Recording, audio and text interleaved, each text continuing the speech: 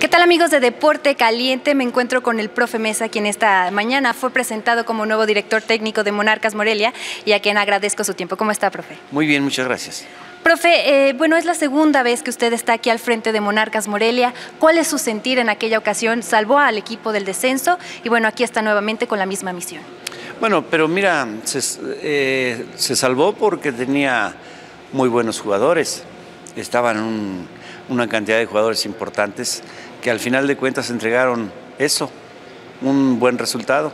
Se salvó por esa razón. Pero ahora eh, me mueve un, sentimiento especial porque ya trabajé aquí, porque en aquel momento se logró hacer.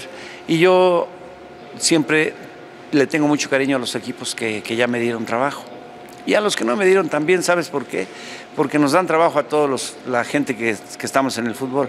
Entonces, ahora después de seis meses de estar eh, parado, eh, acepté esto porque me parece muy interesante, porque tiene sus riesgos, por supuesto, pero los jugadores ya la sufrieron y la han estado sufriendo todo este tiempo.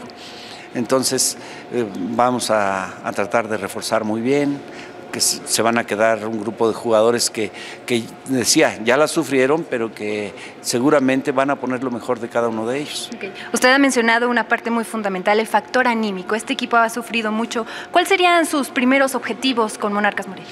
Aclararles las cosas, porque hay ocasiones en que los jugadores juegan partidos individuales con mucha frecuencia, cuando quieren ganar quieren ganar y empiezan a hacer este a jugar individualmente y a veces eso no trae buenos resultados porque se vuelve un poco de desorden y, y dejan de, de, colaborar en la, part, en la participación colectiva que bajo mi punto de vista es muy importante. ¿Esa sería su filosofía para este equipo de Monarcas Morelia? Sí, esa es, creo que nunca va a cambiar.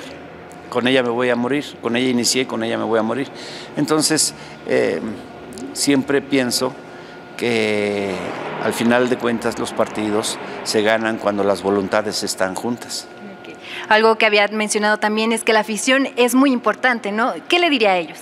No, les diría que, que vengan, que nos acompañen y que, que, cuestionen a su equipo, pero que vengan. Es, es muy feo entrar a un estadio medio vacío.